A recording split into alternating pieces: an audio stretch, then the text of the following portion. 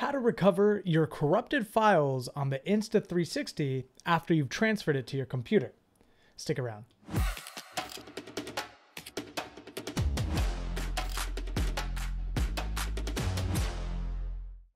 Hey guys, what's going on? This is Michael, uh, and last Christmas I picked up this little guy. This is the Insta360 camera, the X3, uh, super cool. I went on a vacation this past week. Whoop, went on a vacation this past week and used it uh, on the beach. And I came back and put it into my computer just using the the SD card that's in here uh, pop this guy out, put it inside of my little adapter, and put it in the computer.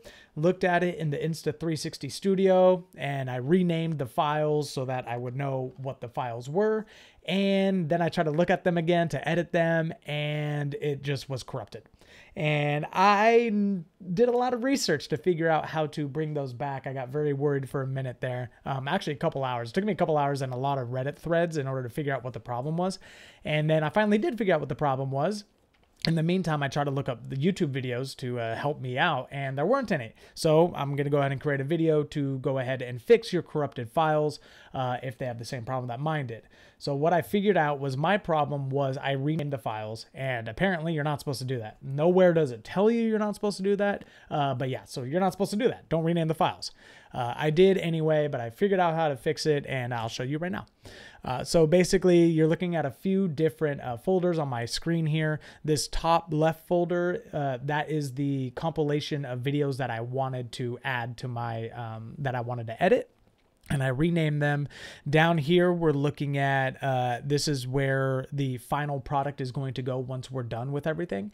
And then over here is my dump. It's going to be all the videos and all the all the dumps that I did throughout throughout the week. Um, so let's go ahead and I'll go ahead and show you what the problem was. So when you click on the uh, videos, it either loads weird like this one does. It doesn't load how it would normally load, or it will load not at all.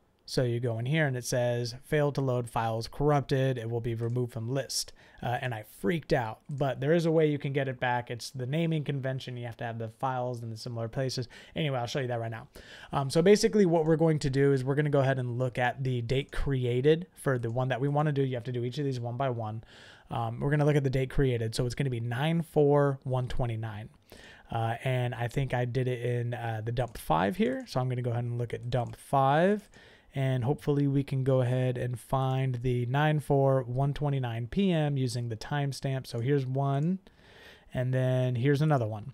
All right, so these are my two INSV file folders files, uh, and then this is the LRV, which stands for low resolution. So that one brings the two together. So anytime you record, at least in 5K, it's going to create three videos or th- at least three files uh, for every one video that you do.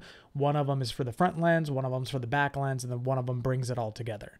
Uh, and that is the LRV. So we're going to go down here to the final organized folder, and we're going to go and create a new folder called uh, skimboarding, because I believe that this one is uh, skimboarding.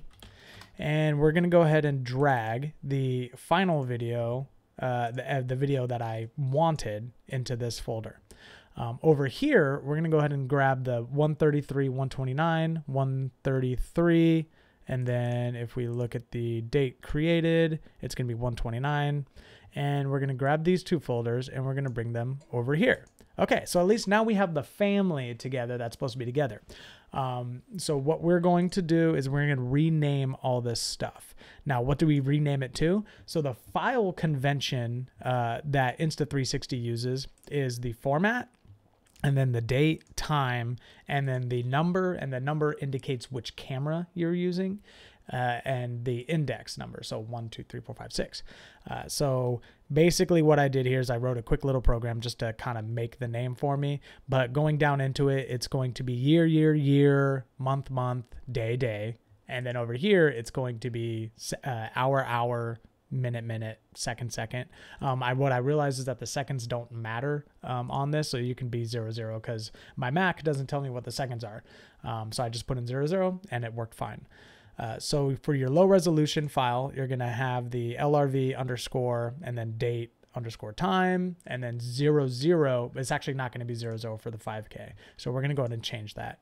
So we're going to bring this over here. We're going to rename these files the LRV first.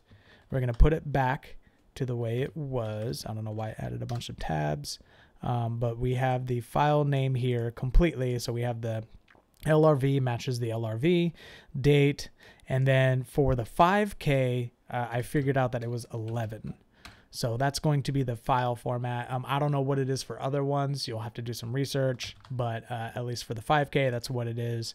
Um, and then for these guys, all we're going to do is we're going to paste the copy the file name, paste it, and we're going to change this uh, to vid, um, and that's going to be one of them. And we're going to change this guy to 10. Now you can either change it to 10 or 0, 0, depending on left side, right side, or front and back. Um, you're going to have to test that. I don't know which one's the front. I don't know which one's the back. So I'm just going to do the 10. And then the next one, I'm going to copy this and I'm going to paste it onto this one and I'm going to label it with the zero zero. So now I'm telling the program that one of these is front, one of these is back, and this is the overall one.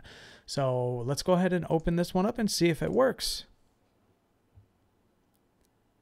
And it looks like it does. So there we go. That is how you recover your corrupted files.